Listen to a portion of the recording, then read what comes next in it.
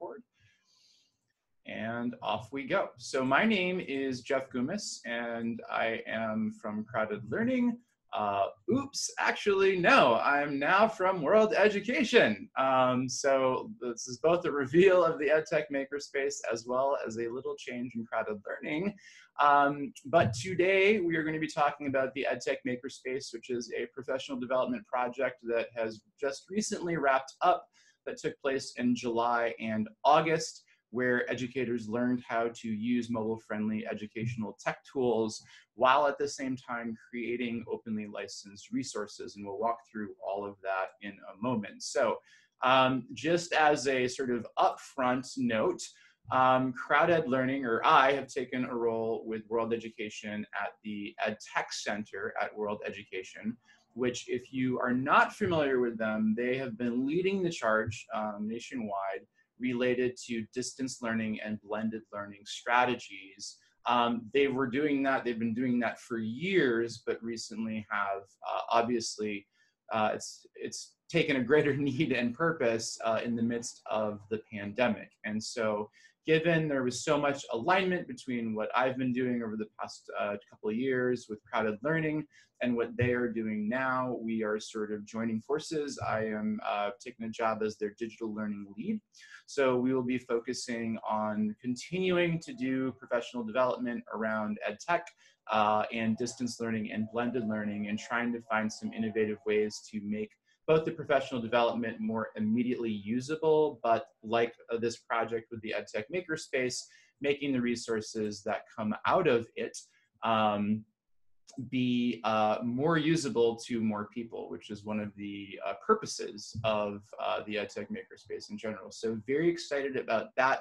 Uh, more to come in, in the coming weeks and months in terms of just how that transition is going to shake out. But what we are going to do today uh, is a,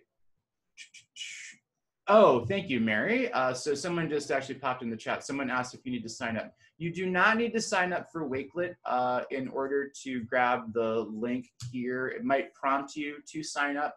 Uh, and here is the link again. I just pasted it in the chat. But uh, yeah, you, you, can actually just access it as is. There's no need to sign up. But uh, I'm guessing or hoping after today's presentation and you see all of the great resources that um, uh, is anyone else not getting to the Wakelet? So just I got a, are people able to access the Wakelet? So before I even move on, this is Ed Tech. Awesome. Okay, it seems like everyone uh, is able to access it. So hopefully, um, whoever is having issues, um, just try again and um, we'll paste in. So we're getting lots of yeses in here. Let me chat the link one more time. Um, awesome. Thank you. So uh, yeah, hopefully after today, you're going to want to sign up for Wakelet because it's a super uh, customizable tool that we can use to share EdTech resources and learning resources with students. So if you're if you've accessed the Wakelet, um, it should prompt you to sign up. But if you just go to Wakelet um, right now uh, and you if you don't have an account, there sh it should be sort of a seamless process to sign up, I'm guessing somewhere in the top right or top left. We're not gonna walk through those steps today. I actually can't because I already have a Wakelet account. Uh, what we're going to be talking about today is just a quick walkthrough of the EdTech Makerspace. This was a professional development project that CrowdED Learning has recently finished, as mentioned earlier, and just talk about the project format because um, we're excited about what's, what's been accomplished by this group of teachers and the resources that are now available widely to everybody, but we also recognize that um, just this process of, of running uh, professional development, not just with, with the sort of goal of training teachers on how to use something, but giving sort of a, a clear direction for everybody in terms of specific resource types that, that people want to be created, uh, a la quote unquote crowdsourcing, um, doesn't have to just be something that CrowdED Learning does, but it could be something that you and your organization decide to run with your teachers. For example, uh, if you are all using Google Classroom, and so therefore you now want to use Google Forms for quizzes. um, instead of everyone randomly creating quizzes for the different things that they teach, sort of channeling everyone and focusing on different content areas and different skills for which you want there to be Google quizzes um, or resources that you're using to teach so that one teacher creates that quiz one time and then all 10 or 20 or however many teachers can actually use that quiz. And so just sort of we'll do a quick walkthrough of the format of how we ran the project um, so you can see uh, just sort of the, the, the thinking behind how to get sort of teachers this type of training. And then most importantly, we're going to spend some time on the results because again, a big purpose of this EdTech Makerspace was not just to provide that training for teachers, but to, as a part of that process, be developing a number of mobile friendly um, and engaging resources that students can immediately use uh, on their own or that teachers can begin um, integrating into their instruction in our current remote learning environment. So um, what is the EdTech Makerspace? So this came out of sort of an immediate need that we've obviously seen in the past few months around more EdTech tool training. Um, and I look at it as kind of a maze because it is, there's so many tools out there. It's not just understanding the how to, how to actually operate the tool, but actually how to actually meaningfully integrate it into what you're teaching. And so we've seen now that remote learning is not just a temporary thing. Um, this is something that's going to go on well beyond maybe what many of us thought would be the time frame that we'd be teaching from a distance. And even if it didn't, uh, didn't sort of continue and it ended tomorrow and we could be back in person, my hope is that as, as folks have learned how to use specific tools, that they're starting to see some of the affordances of, hey, like I had to build this Quizlet for my students to just give them something to practice vocabulary. But guess what? You can still use that when you're back in class. Um, and so really thinking about how do we do this ed tech tool training so it's not just a, a sort of band-aid to be able to do something while we're teaching remotely, but also to create meaningful resources that we can use well beyond um, our current situation. And so in order to do that, instructors need more training to effectively use these tools, but they also need more ready-to-use resources because it's great that I know now how to use a Quizlet or Wakelet or uh, Padlet or Google Forms, but we don't all necessarily have time to be creating every single thing that we want to be teaching or using. And so um, we wanted through the EdTech Makerspace to create a sort of way for which teachers can be creating things um, that can be more widely used. Now, a challenge with that is consistency. Um, and so traditionally, we, we tend to rely on things like publisher resources because of the fact that there's comprehensive coverage with those resources and there's consistent format. Lessons have a consistent structure. Um, there might be an introduction and examples and then some instruction and then guided practice for students.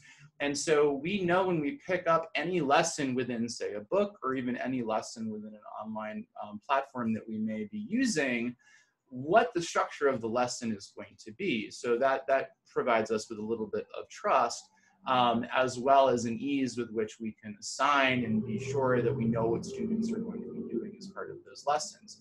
Um, and on the flip side of that, you know, we, we know that there's a need for free resources. Many of us sort of out of the gate started getting free access to all sorts of great online resources that typically have a licensing fee. Um, but those sort of freebies have run out. And so we all know that adult ed providers often don't have a ton of um, extra money to spend on some of these tools. And so how do we maybe provide some of these remote learning tools and mobile friendly tools, but do it on a budget, but also do it in a way that it's easy for us to be able to take it and use it like we would a publisher resource.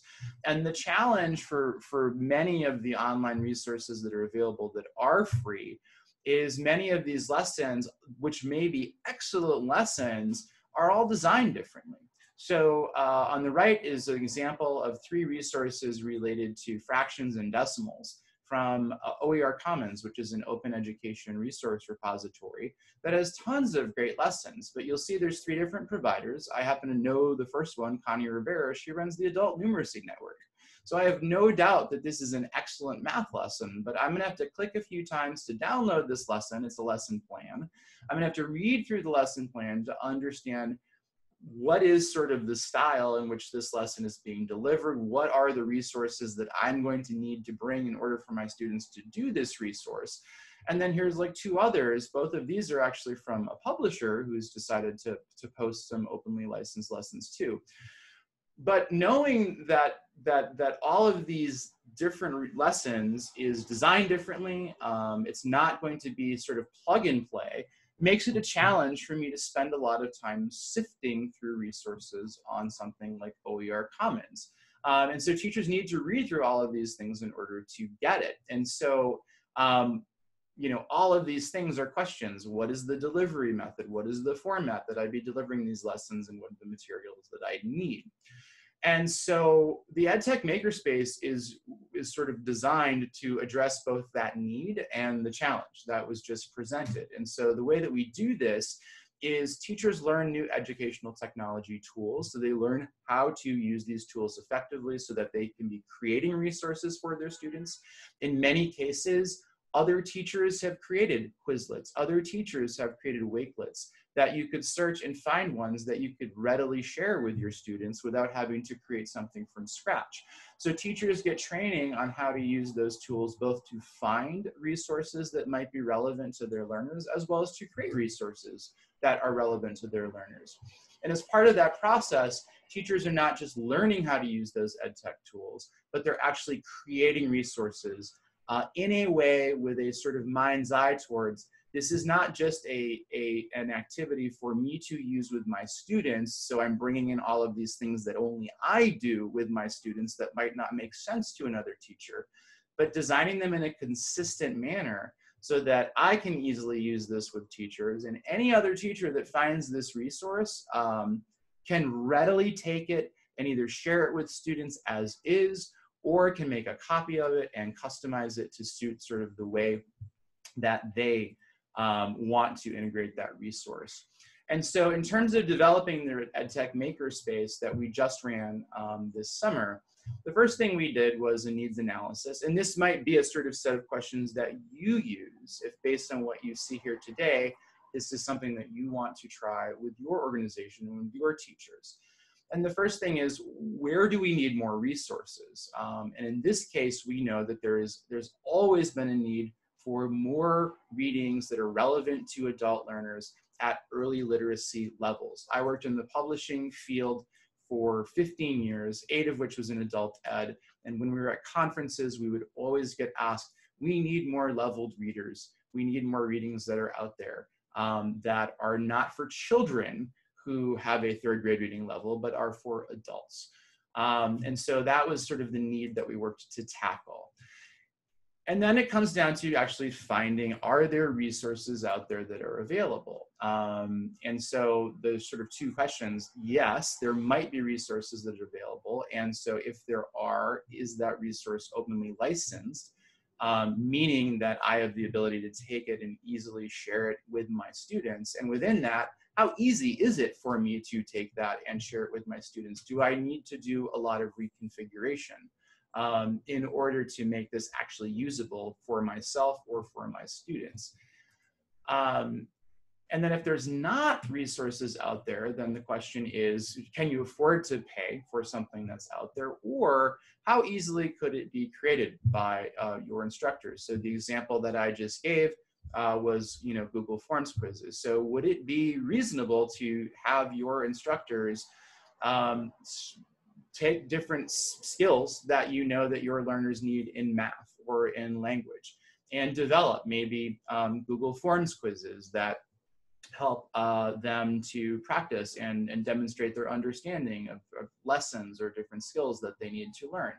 Uh, one of the um, folks who participated in this uh, cohort of the EdTech Makerspace I know is going to be thinking about designing activities for English learners. Um, and using things like Google Slides, where they can create drag and drop, um, you know, word word walls that students could um, drag and drop those into sentences.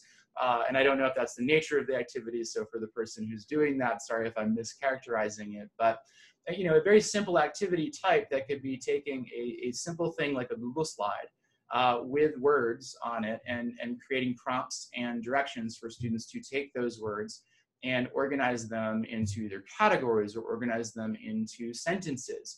Um, so if we decide that this is that's a format of an activity that really would be engaging for learners, that would help them develop digital literacy skills, can we train all our teachers on creating those uh, and then give them sort of a set of tasks that they can go forth and create so that again, um, you know, we have many teachers focused on creating similar types of activities so that the end result is, is a range of resources that are all created consistently. And um, it's, you know, we are all stronger together. The second, or the third thing, excuse me, is within both of these things, what tools can we leverage to make that learning resource more accessible to our students, more usable both to students and to instructors? And so, um, you know, this comes down to uh, there, there may be a resource that's out there. And in the case of what we're going to walk through now, what we did with this cohort was a resource that is online already. There's readings that are online.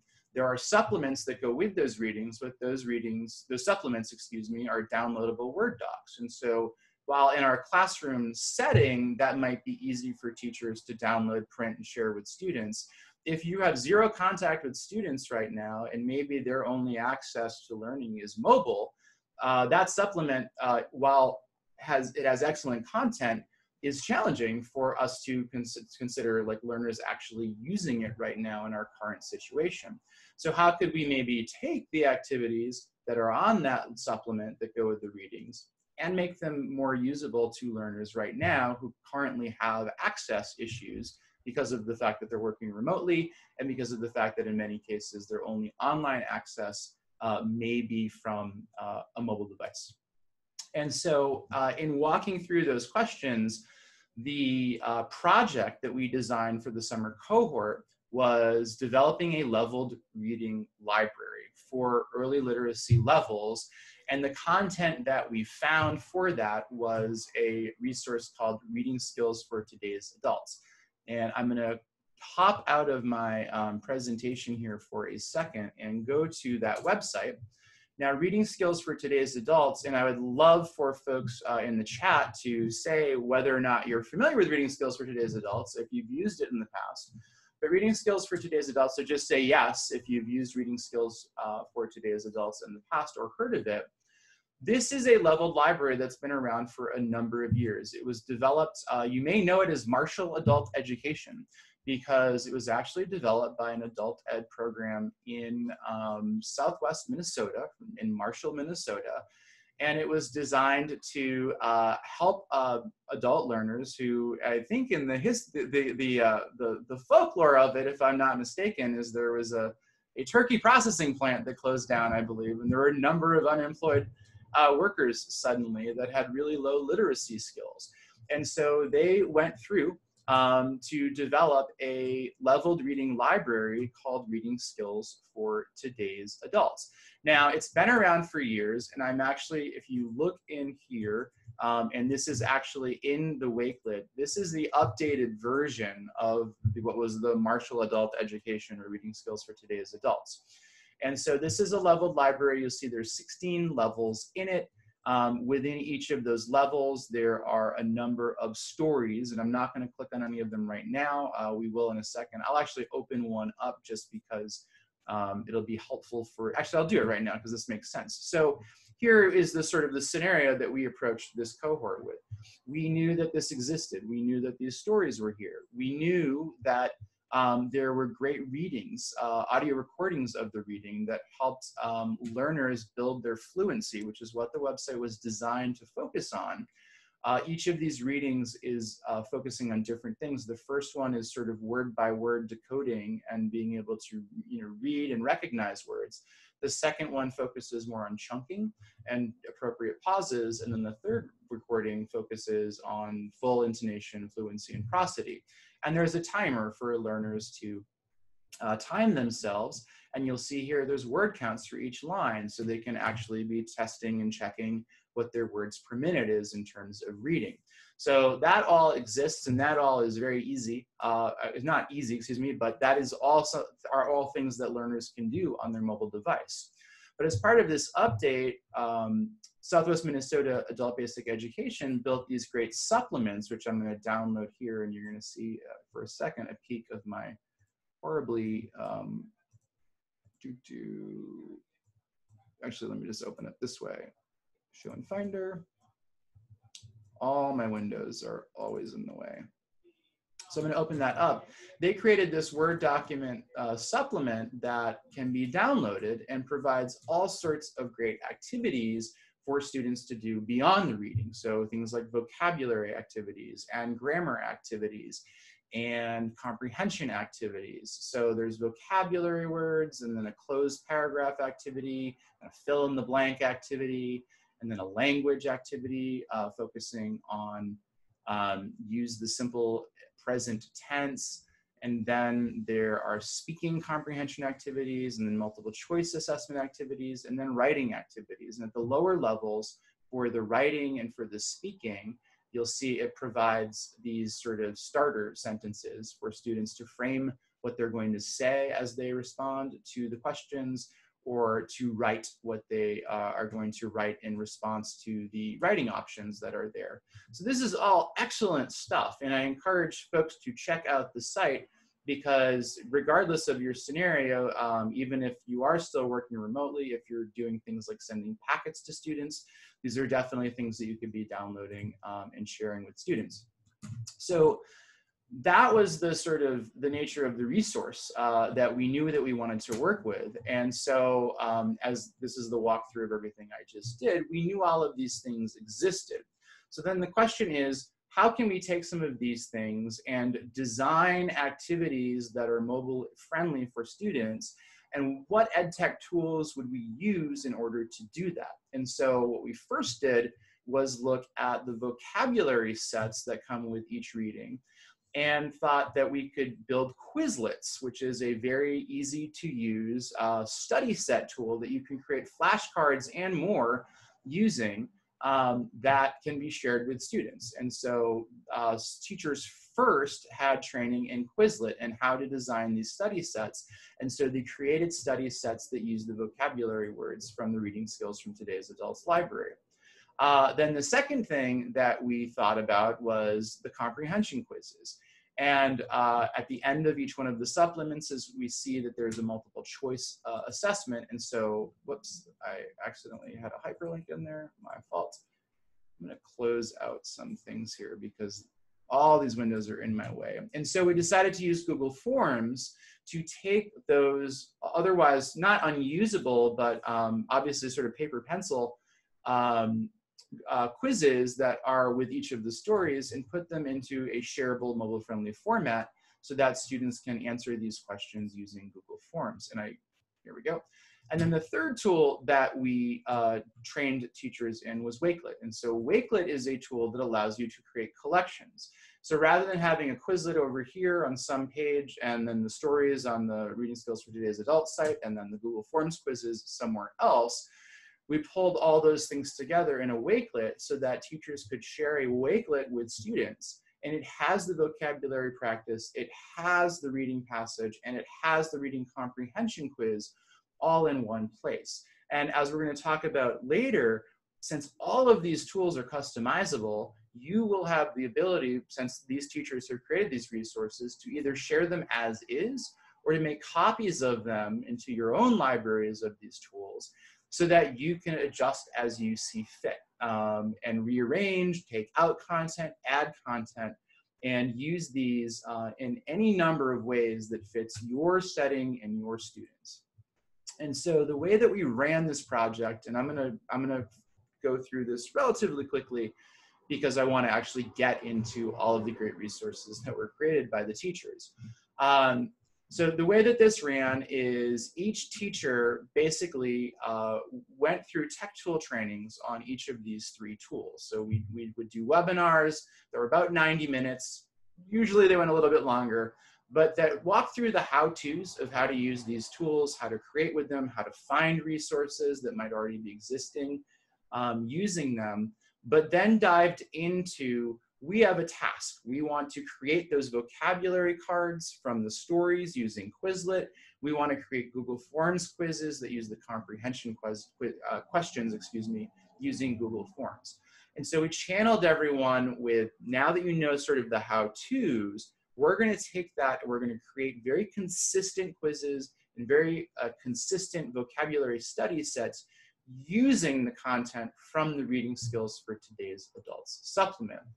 And uh, we had 44 teachers that participated um, over overall that, that, created at least one resource. A majority actually made it all the way to the end, which uh, I just have to say, when you look at the calendar dates for this project, uh, this was in the midst of people maybe trying to salvage summer for one, um, and or trying to sort of get ready for the new school year uh, knowing that that everything was going to be remote, and so there was tons of sort of a flurry of activity for everyone to actually get ready for the school year. And still, I'm just amazed at the perseverance of the teachers who were part of this training.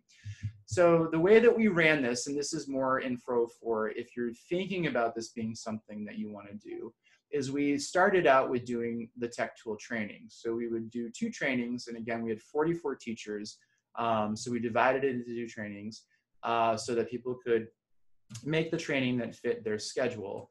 And then followed that up the next week with open office hours for teachers to drop in if they had questions or specific questions on how to create their resources or how to find things. And so we did these in two week sprints for Quizlet, for Google Forms, and then for Wakelet over the course of six weeks.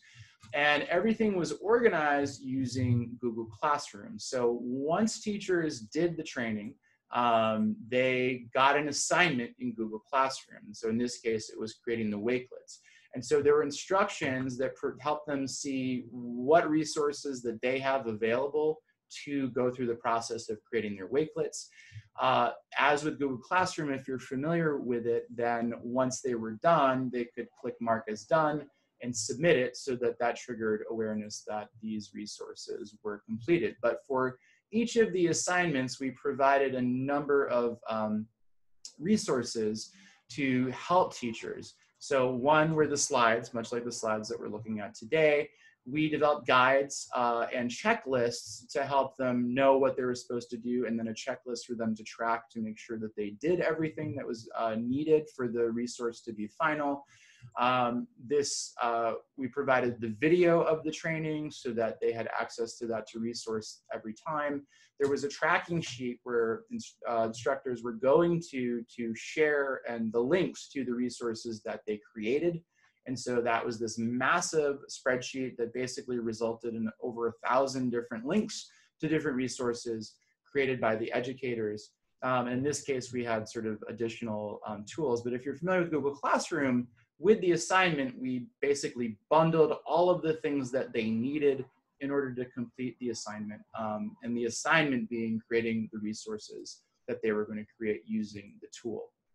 Um, and so these were the guides that we provided. And again, this is more for you if you're thinking of maybe doing something like this.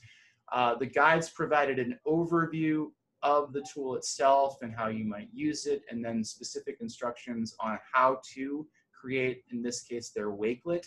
Um, and then also we embedded visual instructions that supported the instructors to see uh, exactly what they would be doing for each of these steps. Um, and so now I'm excited to share the results because you may or may not have heard of the EdTech Makerspace and what we're doing. I've been trying as much as I can to sort of share out our progress.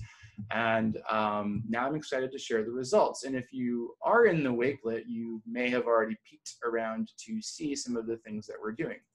Now, uh, first of all, the results to me, because this is one of the reasons why we did this was to provide teacher professional development.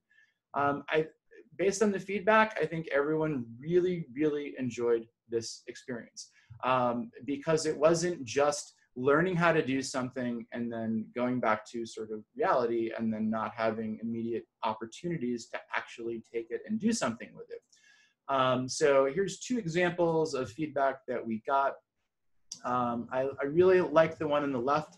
I will say we had 44 teachers, as I've said before, um, ranging from all sorts of levels of ability. So there were definitely teachers that came in that already knew how to use Google Forms or Wakelet or Quizlet. And maybe for those tools, or maybe even all the tools, they just wanted the experience of being able to uh, create resources that others could use.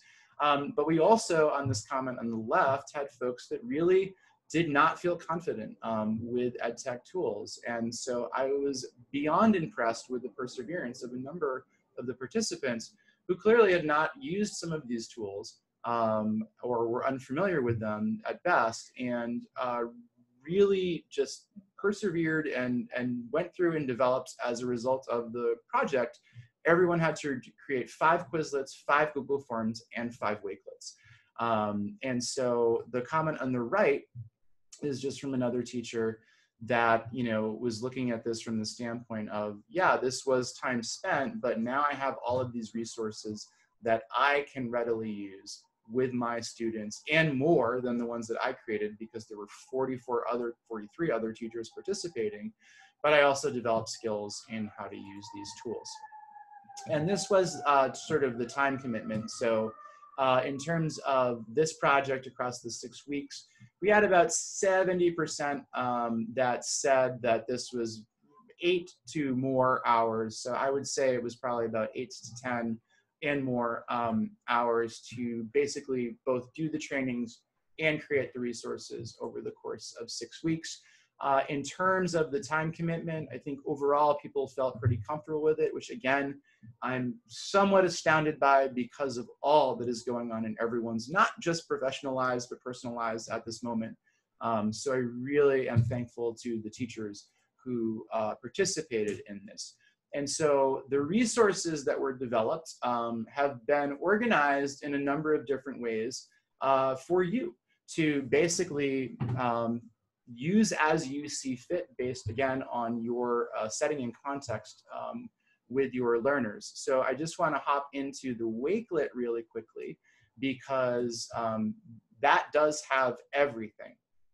Uh, so some full disclosure, uh, while the resources themselves have been done, um, we are still in the review process. We had four teachers who uh, were able to do some extra work. It was funded through a Creative Commons grant um, to serve as reviewers. They've done their part. I now need to do my part uh, to finish up some of these pieces, but uh, there are all of the resources are still available to you and you're going to see the format that those are, but there are some caveats to it. But I'm going to hop into the Wakelet um, real quickly. And I see that uh, Tiffany, you have a couple of people have raised your hands. Um, go ahead and use the chat uh, if you have a question. Well, there's been a few hand raises. Um,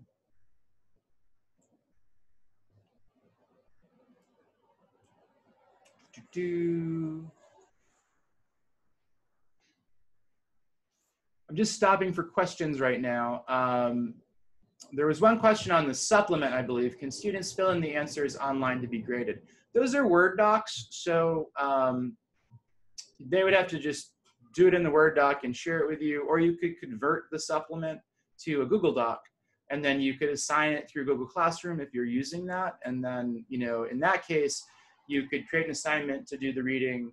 You could share the supplement as part of the assignment. Every student would get their own version of it, and then you could instruct them on the things that you want them to complete. The nice thing about the reading skills for today's adults resources, I'm gonna go back to that. I don't know if I still have it open, um, is because it's a Word doc, you have the ability to cut out whatever you want um, and just assign the things that you want. But they would be filling in these answers um, in whatever way makes sense for your students on the Word document. So there's opportunities for digital literacy skill development there, um, but you would have to uh, figure out how you want to do that with students. So in terms of, and again, if you have any questions, uh, please do use the chat. Um, students do not use email, need email addresses to use any of uh, the Wakelets. They will need an email address for the library right now, um, uh, the app, excuse me, which we'll get into in a second, and that is because that's the only way that they can actually track their work. But once we have all the content finalized, I'm going to give multiple options for that because I know that might be an issue for some folks. But on the Wakelet, um, you have access to a number of things. And this is the Wakelet that was shared. So let me share this Wakelet with you again. Uh, students do not need to have Wakelet downloaded on their phone, but it does make the experience better for them um, if, if you want to use that. So the slides are in here. Uh, and then there's really three ways, and I'm going to walk through these, that students can be accessing, uh, and you can be accessing the content. One is uh, the uh, website, and this is on the CrowdED Learning site, which is called Marshall Reading Program, and that is something that um, we worked with Southwest Minnesota Adult Basic Education to uh, get a sense of how we want to use this. So Reading Skills for Today's Adults is their own website, but there's also an app that is available for a cost um, through um, family learning, family, I'll, Christine, if you want to chat, the, the, the company that offers the, um, the app uh, for reading skills for today's adults. So we didn't want to create confusion. Um, so there's a Families Learning Together app that if you go to the Reading Skills for Today's Adults site, you can learn more about. Um, and there's the link that Christine um, posted in there, or C posted in there. Thank you. Um, we have created another app that's utilizing the mobile friendly resources that the teachers created. And you're going to see what that looks like in a second. Um, we have a website that has individual wakelets for all of the readings. And then we also have a spreadsheet that has the links for every single Quizlet, every single Google form, and every single Wakelet that, okay, it's called Family Learning Company, Family, sorry, uh, is the app that um, Reading Skills for Today's Adults has. Um, so we've taken the content that the teachers have created, and this is going to be a work in progress based on feedback that we get from users. Um, but all of the Wakelets are available for you to share as is. Uh, we have an app that you can use with your learners and share it with your learners that has all of the resources embedded into it. And then we also have a spreadsheet that you can view and make a copy if you want. I would advise against that right now because we're still making some updates to the content and you won't get those updates if you download it. But that allows you to take, uh, to just quickly find any of the specific resources, the Quizlets, the Wakelets, um, or the Google Forms, and copy those and share those individual things directly with learners if you want to do that. Um, and we also have this link to the original reading skills for today's adults. So I'm going to hop into um, the first sort of set of resources, and this is on our CrowdED Learning website. So you're, some folks are jumping ahead, and I see that, but we'll, we'll get to all of these things as we go. So I'm going to paste into um, the chat the direct link to the leveled reading program on the CrowdED Learning site and this is ultimately going to be the home for everything. Um, but we're, we, I, I need to figure out how we're going to separate out the teacher resources so that students don't have access to that. I'm also in the process of figuring out how we migrate the CrowdED Learning site over into world education. Um, so bear with us if this changes over time, but I promise you this link um, will, will stay the same. Um, and so, and if not, we'll have a redirect uh, to the correct place for it. But for now, where we have housed everything is on this page. This page is also in the Wakelet that you have access to. And all of the stories are divided into uh, four levels. And so there's level A, B, C, D, and this aligns to the college and career readiness standards. Now on our website, you'll also see the corresponding TABE level, the corresponding Lexile range of the stories within that level, as well as the corresponding ATOS readability scales um, for the stories in those levels. And a number of these things are also available on the reading skills for today's adults site. So this is like one sort of shift. The thinking here is there are 16 levels and these gradually uh, sort of uh, progress in terms of readability scales. Um, but you know, knowing that folks obviously are following the standards or following the tests that you may be using with students, such as TABE or CASAS, we decided to sort of group all of those stories within those levels into these uh, four levels. So it's A, B, C, and D. So I'm gonna click on one of these just so you see where this launches you into. So this is gonna launch you into a Wakelet space. So spaces is something that Wakelet allows you to organize a bunch of Wakelets that you've created into one place. So all of the level B stories, um, which again corresponds to TABE level E, are located here. And you're gonna see there's a range of things. These stories range from concepts like money to parenting. Um, you'll see that we pulled from a, a, library that might see some repeat images, and we'll change that to safety and health, to this is one that's based on work, this is based on health, um, entertainment, all sorts of different categories, citizenship, and um, again, work. So you can scroll through and find these. Now, if you click on any of these, we'll go to citizenship.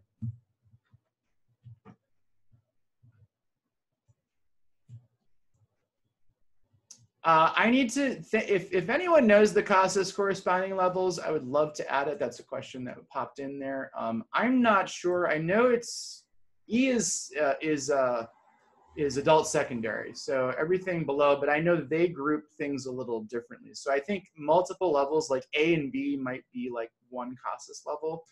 Um, I, I need to find that, and I'm sorry that's not ready um, in time for today, but that will be added. So what the Wakelet looks like, as uh, we were talking about, is it is a collection of the resources that go along with the story. So on a computer, I have the ability to click on the vocabulary practice and it's going to launch the Quizlet for me to do vocabulary practice. If I click on the reading selection, it's going to open the reading selection from the reading skills for today's adults uh, library. Thank you to the Southwest Minnesota AB folks to, for sharing out these things. Um, so this is the actual reading. And again, uh, while I'm on a computer right now, this is mobile friendly. Uh, so students can read the story. Students can access uh, the timer on their mobile phone and the reading recordings so that they can work on fluency within that. And then we have the comprehension check here. And that comprehension check is using Google Forms. And so students can uh, basically uh, answer questions after doing the reading to check their understanding. Now, in this case, this Google form is in CrowdED Learning's Google Drive. And so Google, our Google Drive uh, is going to get the results and we're, those aren't necessarily things that are going to be shared. Um, it's sort of just going into nowhere. We're not checking or monitoring those. It's just we have the form created within the resources uh, that you're being provided and that I'll show you in a second, you have the ability to create to grab a copy of this Google form and to add it to your drive so that you could assign directly to your students and then you would actually be getting the results of students comprehension questions for the stories that you share with your students. Now, one of the things in terms of usability that we thought about was this is a Google form. Now, once you make a copy of it, maybe you don't want to use Wakelet. Um, maybe you don't feel that it's necessary for students to practice vocabulary. Um, maybe you just want students to be reading and checking their understanding. Um, you could make a copy of this and just assign the Google form because the way that we structured the format, and this is in that design sort of thinking, the way we designed this was that the story link is right here.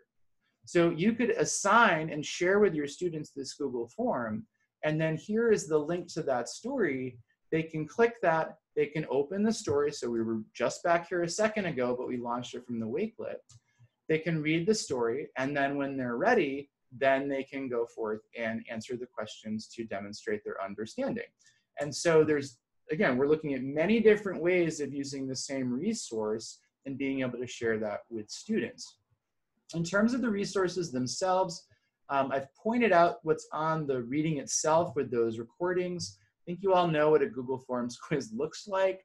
Um, one of the things with the Quizlets that I think is interesting is one, these are very mobile friendly. They're very uh, user uh, friendly in terms of accessibility. They're very operable to students, but these allow students to, you know, basically practice these words. On the phone, it's a really sort of nice experience. They can, um, when they have the flashcards, they can swipe right uh, if they have a Quizlet account, if they have the app, uh, and it'll open up in the app for them. If they swipe right, they're just basically tracking that they know this word. If they swipe left, it's telling it that I want to see this word again because I, I don't quite know it. And so they can go through these practice activities as many times as they want. There's uh, multiple choice uh, activities within that they can practice to see if they've uh, learned the words. Um, it'll track that. There's also games. Um, on, the, on a mobile device, they do not have Gravity, but Gravity actually is a cool one that allows you to practice uh, typing as you are doing it. So I want to answer with the term, not the definition. But uh, this is a game-based uh, version where once they've actually had familiarity with it, um, I have not practiced these words, so I don't know, that they have to type in the word in order to prevent the asteroid from hitting the planet. I'm going to fail. The world is going to end. Sorry. Um, but on the mobile device, they can play the matching game. And this is kind of fun because anyone who accesses this Quizlet is also playing this. And so here they drag and drop the word to the definition and you'll see there's a timer. On the app, it's just a grid and they tap the word and tap the definition and then those disappear. And so there's a leaderboard for the matching activities. So there's engaging vocabulary activities that students can do and they're part of the global community. So anyone who's accessing um, this and plays the matching game, it's actually going to have their scores. And so there's other ways that, that students can be engaging um, with these Quizlets. So that's just a quick caveat on the Quizlet. Somebody asked, how do you assign the readings to students? We're, we're gonna get into that in a second. That's a great question. So, but first, I wanna move on to the second um, resource that's available to you. And that is, um, actually, let's get into that now. So while we have a Wakelet open, um, Uh, you have the ability to copy these to your Wakelet account if you choose to create a Wakelet account, or even if you don't, you have the ability to share these with students. Um, and so you would simply click on share. And if I click on share, and these same tools are available in Quizlet. So if you just wanted to assign the Quizlet, you could do that. Um, but you can assign just by copying the link and sharing it with students via however you communicate with them. Uh, there is a direct integration with Remind. So if you use Remind as a communication tool, it can be assigned through that. If you want to assign it through Google Classroom, there is a Google Classroom link that allows you to click on this and it's going to launch your Google Classroom and then you can create the assignment there for students. So if I did that right now with this as is, remember, uh, this is a quiz or Wakelet that uh, has the generic comprehension quiz in it. So you wouldn't be seeing the result of the assessments. Uh, if you wanted to see those results, you would have to switch out the assessment with the one that's been provided. So before we end today, I definitely want to show you how to do that because I think that's going to be very helpful to a lot of folks. Um, so that's how you would share the Wakelets. The second resource that we have created by way of what these educators have created is a mobile app. And I'm going to share that with you now uh, in the chat. And I'm actually going to click on that myself. Uh, this is use, created using a tool called Glide. Um, and basically, when students use this, they are going to have to provide their email address, if they have one, for now. Um, once all of the resources are finalized and I know they're solid, we will actually run two versions of this. One that does not require email, one that does. Um, the reason for requiring the email is solely so that the student can actually track for themselves the readings that they've finished. So I'm going to um, enter in my email address here, just so you can see the pro, actually I'm gonna use a different email address, so you can see the process.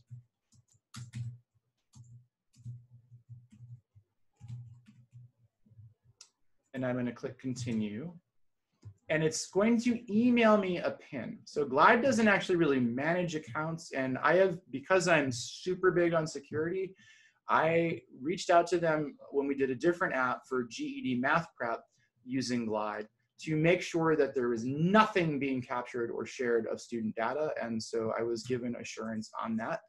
Um, so I have now sent a, um,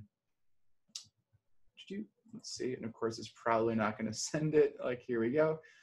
Okay, so here I got my email um, and I have my PIN. And so now I'm going to enter in my PIN.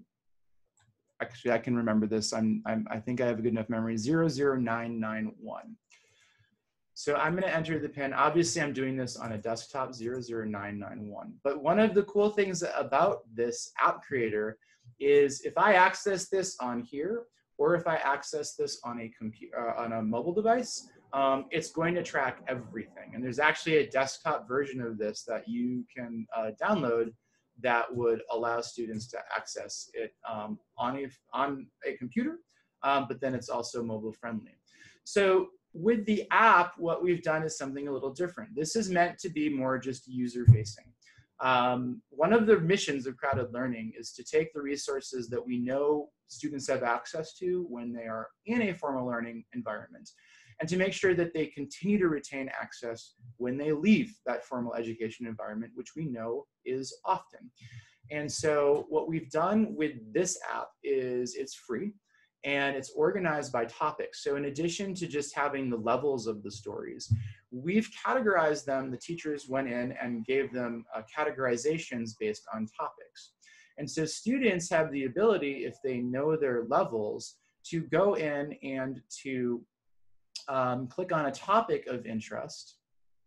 And then they're going to see all of the stories uh, that fit into this topic, which is money.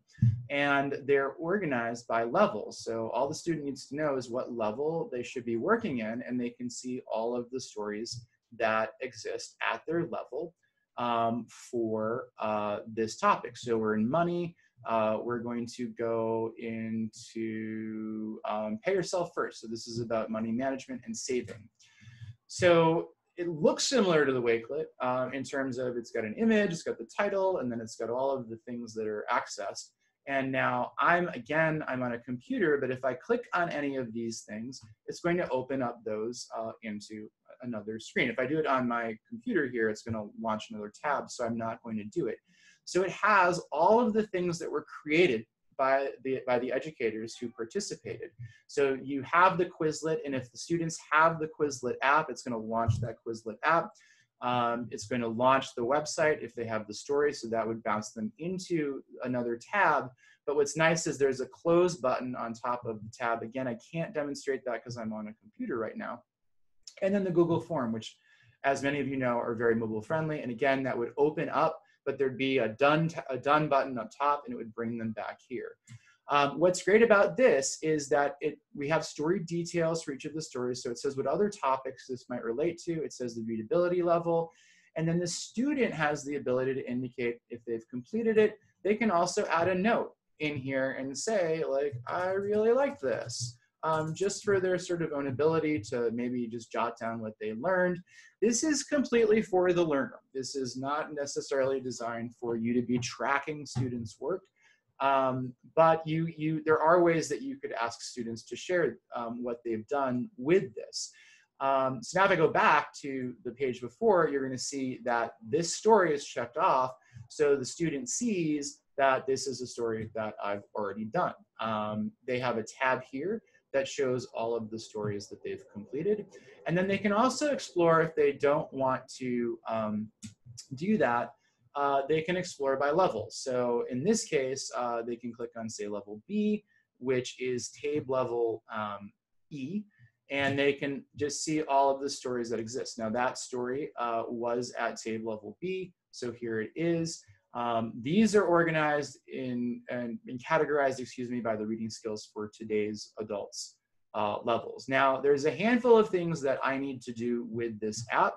Um, we're going to have more information that's going to link students to the reading skills for today's adults main library. Um, I think it's interesting this question about a placement component. Uh, I think that would be something that would be interesting. I don't know if we could build it into the app. Um, but one thing to note, just if you go ahead and download this app, uh, you're going to see that sometimes there is not an image. That is because uh, this is a total Jeff task. Um, I am going through and, and grabbing all of the images that teachers selected and embedded into their Wakelets, and then I'm adding them into a separate spreadsheet so that they will be populated into here. So uh, for some of the stories, there is an image. For some of the stories, there is not. But over the course of the next couple weeks, those will be finished up. Um, in terms of uh, following up to see things as they're updated, the, uh, uh any updates to the content, it's going to update in real time live on the app. Um, and the our Marshall, this page on the CrowdED Learning website is always going to be updating as well. Again, I need to think about the best way to provide the spreadsheet to teachers because that there's no real giveaways, but if the student is savvy enough, uh, they would be able to copy the Google form links and find the answers to those stories. So I'm just trying to figure out the best way to get that. I don't. What I don't want to do is have to have any of these things behind a lockdown where teachers have to sign up or submit something in order to get access to that spreadsheet. Um, so, and part of that sort of dilemma is my website is going to be migrating, so we'll figure that out. But I will do the best I can by way of you being in this webinar um, and having signed up. I will make sure that all of any updates are communicated to you over the next few weeks and months. Um, so just know that that will be happening. Um, then the third thing is the spreadsheet. And so the spreadsheet is again in the Wakelet that's been provided to you. And I'm just gonna open that up right now. And I'm just gonna share one quick example of how you could customize your Wakelets using the spreadsheet. But just so you uh, know, this has all of the stories. Uh, if you see yellow in here, that means that it's a Google form that I wouldn't touch right now because there might need to be some tweaks in many cases, it might be that like the the items aren't weighted or the item is not required, and we want to make sure that those are fixed. Um, but anything that's not highlighted should be good to go. Obviously, you're an educator and, and make sure to check. And then obviously a number of these wakelets are blank. That means it's just not done. In many cases it is done, but I need to copy it over into the CrowdED Learning account because that's where we're organizing everything. Um, but what you'll see here is all of the stories. You'll see the reading skills for today's adults level. You'll see the readability scales, the TABE level, the CCRS level. If I can figure it out, and I know there's been chatter on CASAS, uh, the CASAS levels will be added. Uh, all of these links will open these things up directly. So um, you can go to the Wakelet or you could go here. And then just like Wakelet, um, with Quizlet, uh, these could be shared directly with your students using a number of the same tools that you might use. So you could copy the link and share it with students. You could assign just the Quizlet with Google Classroom. Uh, you could share it on Remind. They also have Microsoft Teams, as do the Wakelets. Um, if you have Quizlet, you can also add this to your own um, account, or you can you can edit it here. Um, you wouldn't have this edit button because this is my Quizlet. Um, but you would have this add uh, button, which would allow you to add your own copy of this to your Quizlet account. So if for some reason you wanted to customize it in some way, you would be able to, to do that. So all of these resources, you have direct links to them. Uh, the Google Forms, we have the link to the generic one, which is already in the Wakelet which you may or may not want to assign, but again, you would not get the results. Um, but we also have a copy URL, and I have to give a big shout out. I know she's on this webinar, Mary Gaston, uh, who is the one that taught me that you can create a copy link. This is one of the things that teachers learned um, of any way, uh, any uh, Google form that allows you to grab a copy of it and put it into your drive. So I am now going to show you how you would do that with uh, Google Forms so that you would get your learner results of um, story. Uh, and you could either share the form as is with your students, or you could add it to the Wakelets that have already been created. So with any of those links, you saw I just clicked this, it's going to immediately prompt you to make a copy of that into your own drive. So what's going to now happen is I am going to make a copy of it. So now this is a copy of that quiz that lives in my drive. And so I will get student responses from this when they respond. So I could send this to students as is. Obviously, you'd want to organize it how you might see fit. Um, like I could email it directly to students. I could share this with students. Um, I could even embed it on my web page. But I'm gonna just, I'm gonna actually copy this share link um, so that this would be for me to send to students so that they could take the quiz. So this is Joe's workday. So now I'm gonna go to the Wakelet library. And I happen to know that um, this Joe's workday is in level A. And I could also just access that story directly. I guess I could have done this from here. So here, I'm going to open the Wakelet from here, um, just for ease and time's sake. So now here is that Wakelet. And I just copied the link to my version of the Google form. So we have a Wakelet that is in the CrowdED Learning library. And you, as a teacher, you want to get a copy of this Wakelet so that you can take your Google quiz and put it into this Wakelet. So all you have to do is create copy or click copy here. Um, and it's going to make a copy of this into your library. So I'm to your Wakelet library. So now you do need a Wakelet account if you want to do this. So this has been copied successfully. I'm going to go back to my home. And I'm going to see, uh, just because I'm in spaces, it's giving me some trouble here. Hold on one second. And sorry, I'm going a little over, not shocked. So now this is a copy of that Joe's Workday.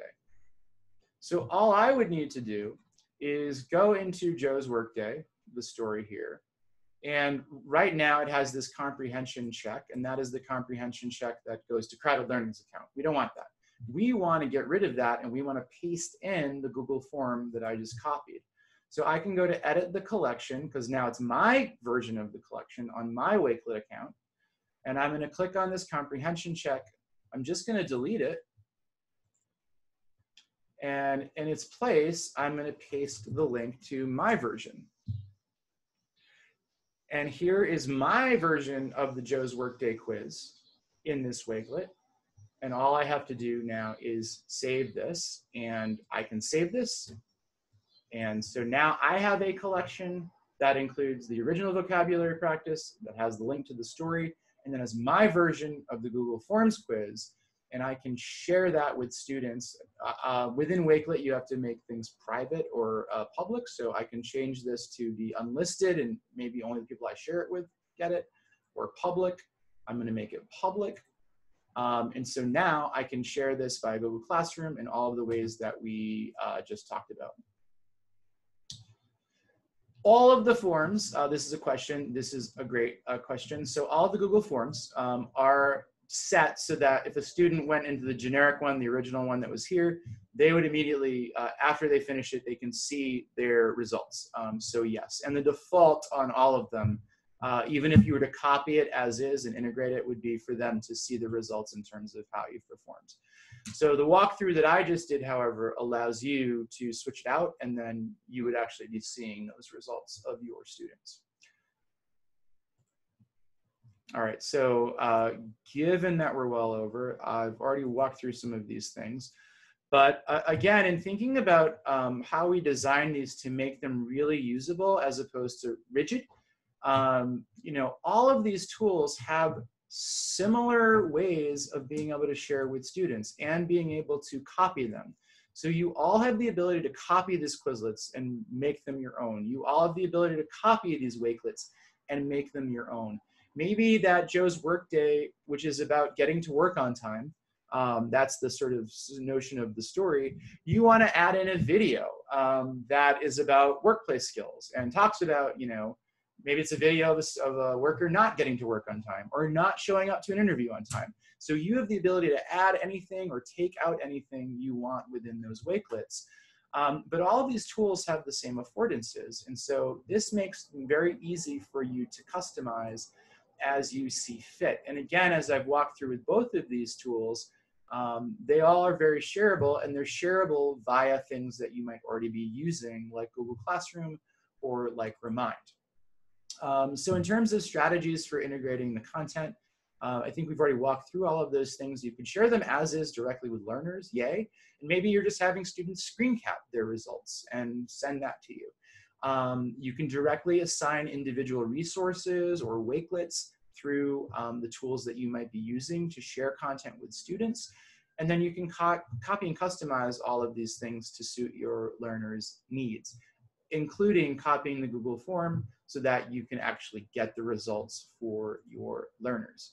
Um, in terms of what is next, um, as I've gone through this, I think one of the things that I will definitely um, plop onto the website is, and maybe even on the spreadsheet, is a how-to video uh, walking through what I just did uh, in terms of taking a copy of the quiz and putting it into a Wakelet so that teachers have guidance on that. Um, you know, hindsight is 2020. That I think might be a good thing for folks to have for those of you who might not be familiar with Wakelet um, and with Google Forms. But we are going to be developing a project toolkit for the EdTech Makerspace. So providing a sort of guide for educators in case you decide that you want to get up and running and train teachers and creating different tools um, that could be usable for your students in a similar manner to what we did. Uh, within that, we're also going to include guidance around Creative Commons licensing um, because that is uh, important when we're thinking about taking other people's content and sharing it in different ways and modifying it. And so we want to make sure that folks are aware of the do's and don'ts around Creative Commons licensing and open education resources. And then some tips for actually running a successful EdTech makerspace. I think more or less, this project went very successfully.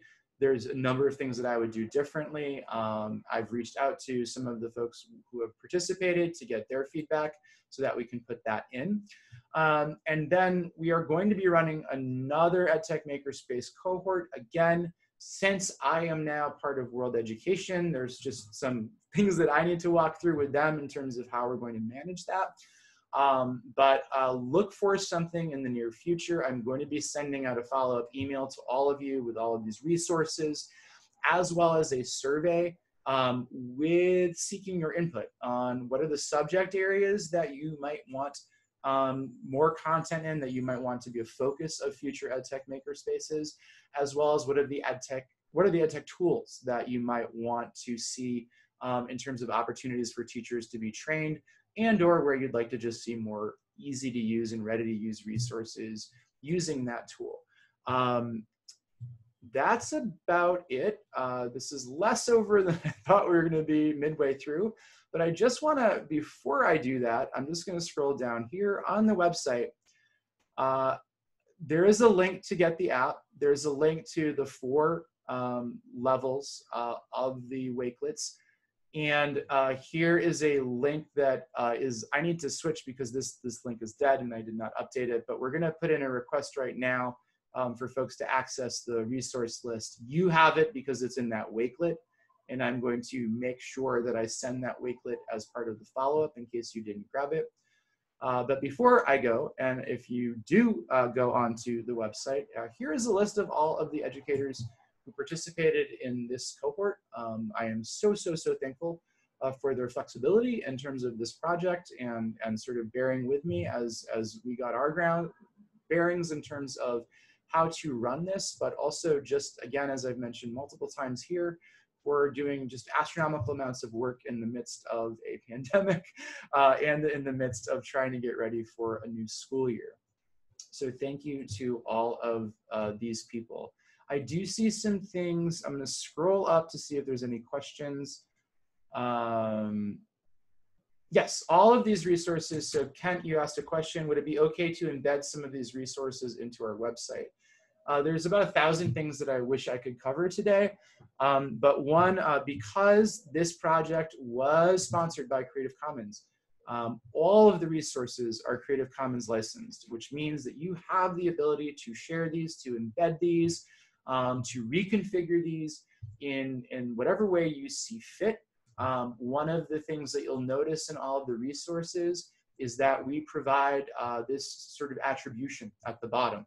So uh, as part of Creative Commons licensing, that's sort of just one of the rules, is that you are taking something that was created by somebody else, and so making sure that you provide proper attribution. And in this case, because we took content from the Reading Skills for Today's Adults Library, um, all of the resources, uh, the forms, the Quizlets, and these Wakelets all indicate that, that the content that's being used here comes from Reading Skills for Today's Adults, and that this is the license that it's, it's um, licensed under. But um, by way of embedding these, folks are going to see those. So there's nothing more for you to do uh, in order to, to do that. Any other questions? I know there's Q&A questions. I'm scrolling right now through the chat. Um, so someone was having challenges with Quizlet. Um, you should either, if you're on your phone, be able to slide uh, left or right to get to the next one. Um, if you're on the uh, on here, there's arrows that allow you to advance to the next thing. So that's the answer to that question. Back to the chat to see if there's any other questions. Um, all right. Well, so be on the lookout for an email following up uh, today from me that again has all the links that we talked about just in case you forgot to grab them, as well as a survey. I really do hope that you can provide your input because it, it is definitely going to drive um, our decision making in terms of what, a, what the next EdTech Makerspace project is going to be. Um, I will not have a how to copy the Google form into Google Classroom in there, but uh, I think I will be working to provide some guidance to educators in the near future um, that we put up on the um, website so that you know how to do that. And I will probably add some how-to videos within here in the Wakelet. Uh, this to me right now is going to be the instructor facing resource. So we'll be working to share this out directly with instructors to have all the things available as you wish to slice and dice them as well as some add-on trainings um, so folks know how to do specific things like the questions that have come up in here. So thanks for that feedback. That's really helpful. And with that, I'm going to let you get back to your Thursday afternoons. And I am extremely um, thankful again to the teachers and hope these resources are useful to everybody. So um, I'm sure we will be in touch in the near future. Uh, until then, uh, good luck using these resources and uh, we will definitely be seeking feedback in terms of how they go. So thanks everybody.